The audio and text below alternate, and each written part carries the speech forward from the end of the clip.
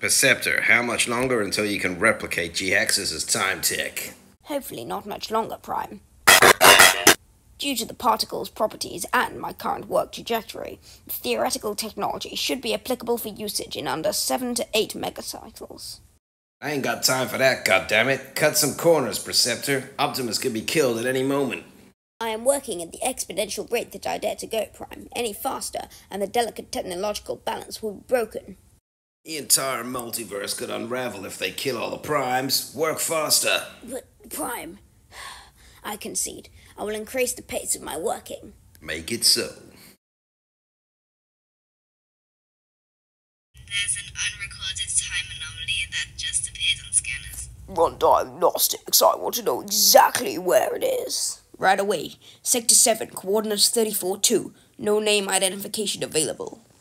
Hmm, then I'd better go and see what they want. Elita 1, Zeta, come with me. Optimus Prime, it's a pleasure. Prime, they're Alliance badges. Decepticon, I can see. Let us try and reason with them. There is no reasoning with us, Prime. Only dying. Oh dear.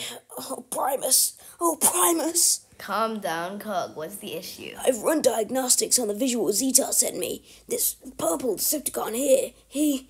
he. Come on, Cog. Who is he? Is he dangerous? For all intents and purposes, this Decepticon is Megatron. Megatron, but overpowered, upgraded. He's from the future, and Optimus Prime is gonna die. Oh, Primus. Cog, let's burn rubber.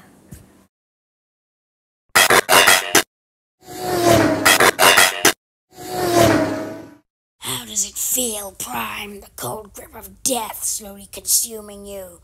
Prepare for annihilation. Optimus, no! Be silent. Rook, finish her off. At your command, Lord Galvatron. Old friend, you are going to die here, a relic of the past. Who dares? Hey, Galvatron, this is the end of the road. Autobots, let's smash these creeps to next Sunday.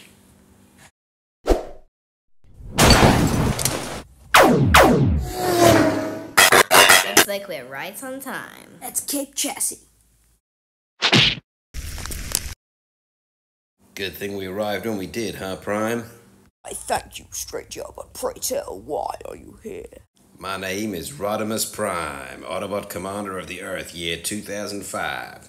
I'm here to kick Galvatron's tail all the way back to the future, but most importantly, to save you and Sentinel Prime. But he's dead. He will be soon.